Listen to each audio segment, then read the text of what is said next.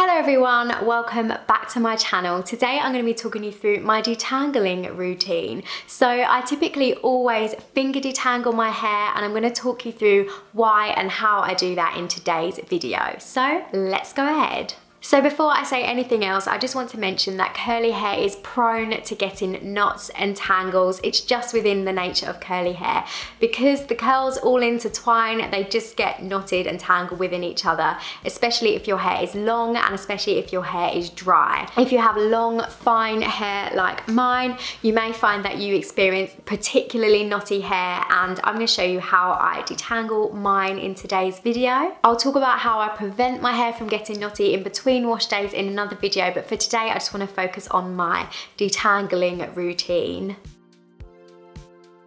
So first up, let's talk about why I finger detangle. So I pretty much always finger detangle my hair and I get asked quite a lot whether I use a brush or a comb and the answer is not really.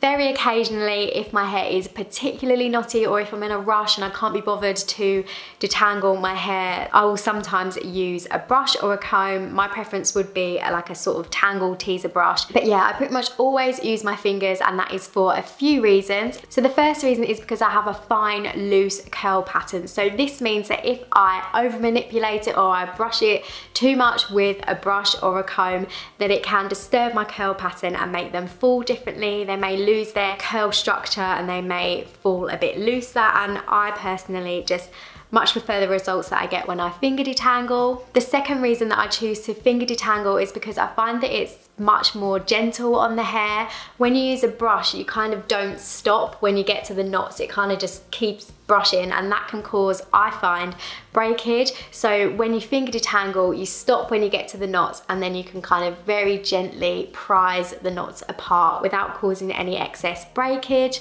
And I just find that that works best for me.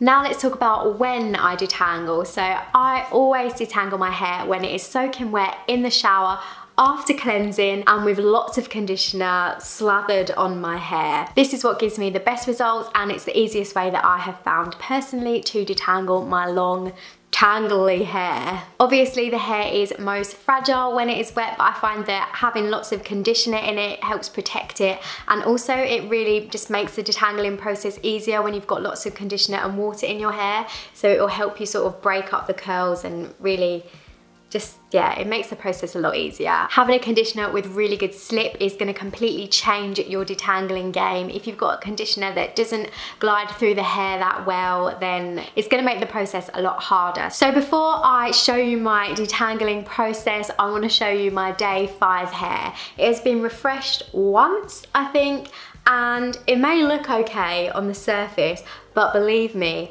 there's plenty of knots in here plenty of knots. So let's just take a little look. So if I just put my hair at the root, you see that it stops here? That's knots. So I pretty much have knots from the root all the way down. And it's just because my hair intertwines and especially when you refresh your hair you may find that you get more tangles. I don't particularly detangle my hair on a refresh day. I just wet it and diffuse it and that is it. I deal with the knots once a week on wash day because that is just about all I can handle because I'm a lazy curly girl if you haven't already noticed. So now that you know all about why I finger detangle and when I finger detangle, I'm gonna show you my finger detangling process. I cannot say finger detangling anymore, it's driving me crazy. Let's jump into the shower. After cleansing my scalp, I split my hair into two sections. Water is key with detangling, so I don't remove any excess water after rinsing out my cleanser. I then add a generous amount of conditioner to the palm of my hand and apply to the lengths and ends of my hair. I start by smoothing the conditioner over my hair to work it in and marry the water and conditioner together. Once I've done this, I have a better idea of whether or not I need more conditioner or water. Today I decided I needed more conditioner. I apply the conditioner in the same way as before and gently begin to rake my fingers through my hair in repetitive motion to loosen any tangles. The right side of my hair always tends to detangle more easily for some reason, so I usually detangle this side first. I continue until I'm able to run my fingers through my hair with ease. That looks good to me. The left side of my hair tends to have more tangles so needs a little more care. To really get the conditioner into the cuticles of my hair and help with detangling, I'm gently scrunching smaller sections in pulsing motions, making sure not to squeeze the water and conditioner out. This is also known as squish to condish. For this detangling method to work, your hair needs to be soaking wet, so I'm adding a little more water. If your hair isn't wet enough, it will be harder to detangle. I'm now gently raking my hands through the lengths of my hair again, stopping each time I get to a knot and gently prizing them apart with my fingers. The reason the knots separate with little force is because I took the time to marry the water and conditioner together. If I'm ever struggling to detangle, I usually add more water before I add more conditioner. Water is a very important part of this process. I continue this method until all the knots have been separated throughout my hair. I'll then squish the water and conditioner into the ends of my hair. The ends are the driest part of my hair, so this really helps to hydrate them. I continue raking my hands through my hair until I no longer come up against any knots. I then flip my head forward and rake through to ensure there aren't any knots underneath that I missed.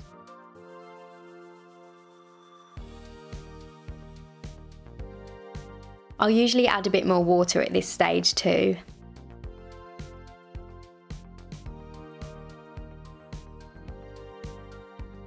As I rake through my hair, you can see clumps begin to form and my hair has a seaweed-like texture. This is what you're looking to achieve when conditioning and detangling your hair. I then do the squish to condish method again to really hydrate those cuticles. Next, I tie my hair in a bun on top of my head while I shower. Because my hair is already pretty moisturised, I only leave it up for about a minute or so, but if you have dry hair, you can leave it for longer. I'm now rinsing the conditioner out of my hair, raking as I do so to free up any sneaky tangles that may have formed. Now that I've rinsed the conditioner out, you can see my hair is completely tangle free. I'll then go ahead and add my stylers, but I won't bore you with that in this video. So there you go, that was my entire detangling routine. Let me give you a little curl tour so you can see the lengths of my hair. Ooh, just keeps going. I'll show you the back as well.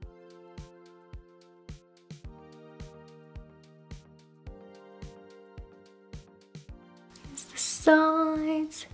So very soft, light, you know, barely any tangles. I say almost tangle free because, I mean, I feel like my hair always has some kind of tangles in it. It's just, it's just the way it is. I probably could run my fingers through it quite easily today, but I don't want to do that because that would ruin my curl definition. I really hope you found this video helpful and that you found some tips on how to finger detangle your hair. If you did enjoy the video, please feel free to give it a like, leave a comment and don't forget to hit the subscribe button and I will see you soon. Bye guys!